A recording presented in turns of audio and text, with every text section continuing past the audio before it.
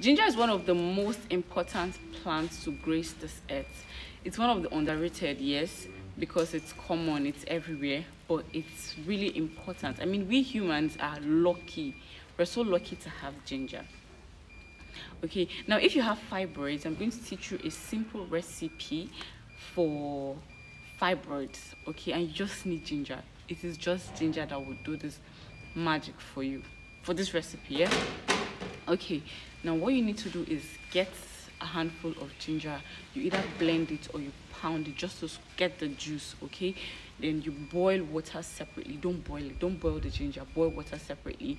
When you're done pounding or blending you add the pounded or blended ginger into the hot water. You let it steep for five minutes okay?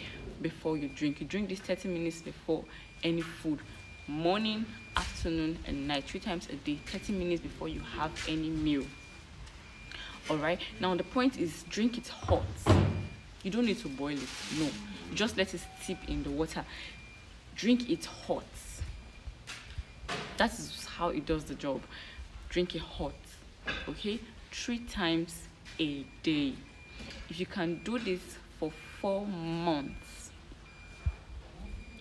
months you need to be consistent you need to be patient all right?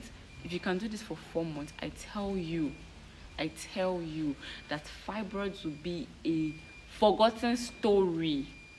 I'm telling you it will be forgotten okay? So do this consistently be patient. It's going to take some time but it works.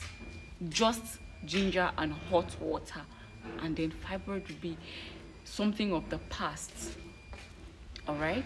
Hopefully you try this out and of course you get the results you desire okay? Please use the link on my bio to subscribe to my youtube channel